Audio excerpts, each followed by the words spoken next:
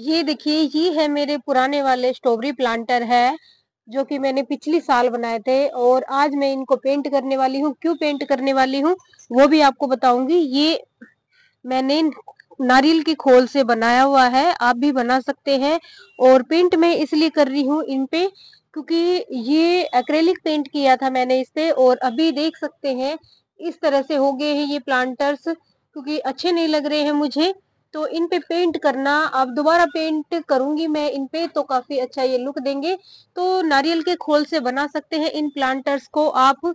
तो चलिए रेडी करते हैं। और एक पेंट और उस गमले को भी मैं पेंट करने वाली हूँ। ये देखिए जहाँ पर मेरे बड़ा सा प्लांट लगा हुआ था। आपने देखा था, वो सब मैंने यहाँ से हटा दिया है। और यहाँ पर भी लगा हुआ था, वो भी मैंने हटा दिया है। ये दोनों कोने मैंने खाली कर लिए है और पोट भी मैंने पूरा खाली कर लिया है। इसको भी और आज मैं इसको पेंट करने वाली हूँ। तो वैसे तो ये गमला है बहुत भारी तो मुझे दोनों हाथों से उठाना पड़ेगा और मैं पेंट करने वाली हूँ। कौन सा पेंट करूँगी? जो कि हमेशा टिका रहता है, कभी खराब नहीं होता है। तो चलिए शुरू करती हूँ।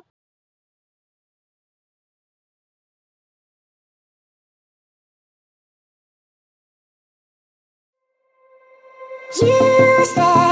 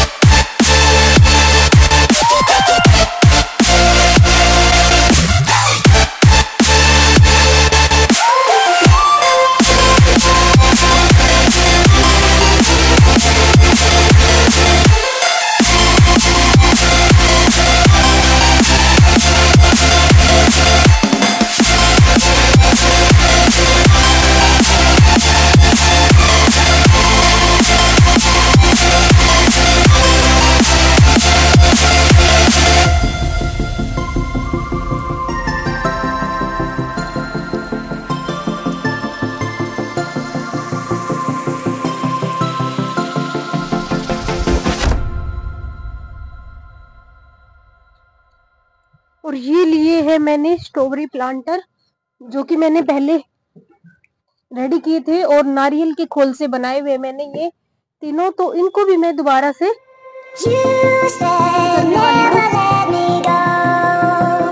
और इस पे मैं करूँगी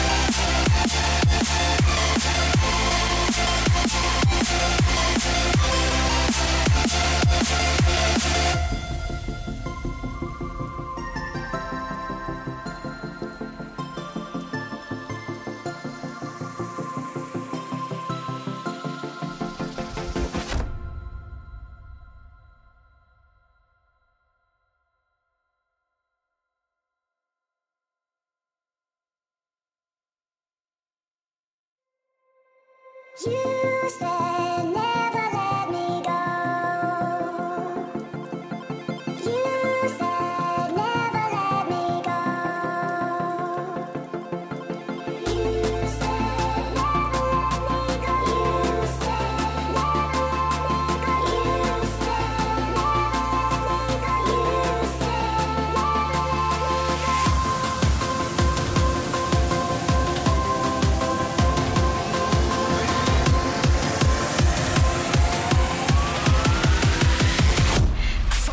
ये देखिए, मैंने पौधा लगा दिया है इसके अंदर और पानी अभी दिया नहीं है, पानी में दूँगी और देखिए, मैंने स्माइल इससे बनाई है और मैंने इस पर ऑयल पेंट किया है। मार्कर से मैंने सिर्फ़ राउंड राउंड बनाया था।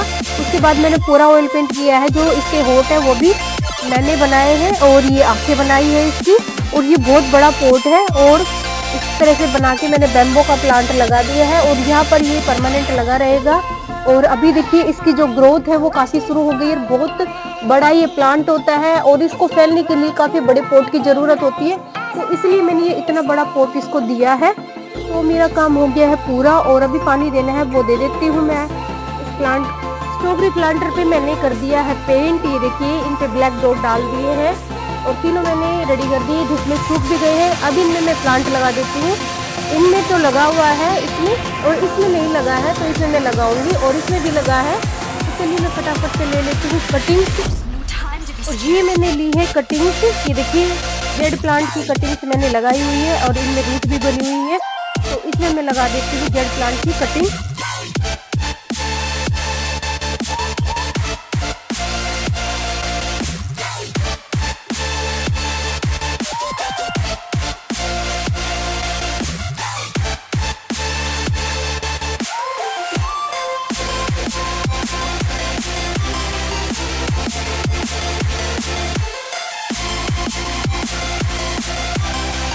सबके अंदर ना रूट बनी हुई है, इतनी बड़ी बड़ी इसमें ये देखिए कितनी बड़ी बड़ी इसके अंदर रूट बनी हुई है।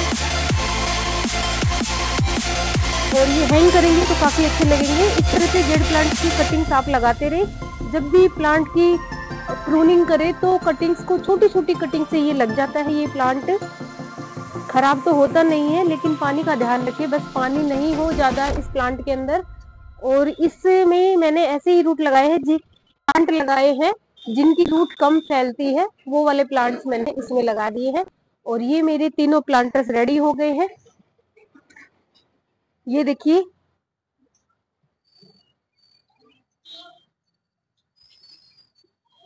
ये देख सकते हैं, इसमें पर्पल हार्ट लगा दिया है मैंने, और इसमें जेड प्लांट लगा दिया है। और ये है हमारा अजवाइन का प्लांट है। और तीनों को मैं हैंग कर देती हूँ। अब आप अपने स्टैंड पे।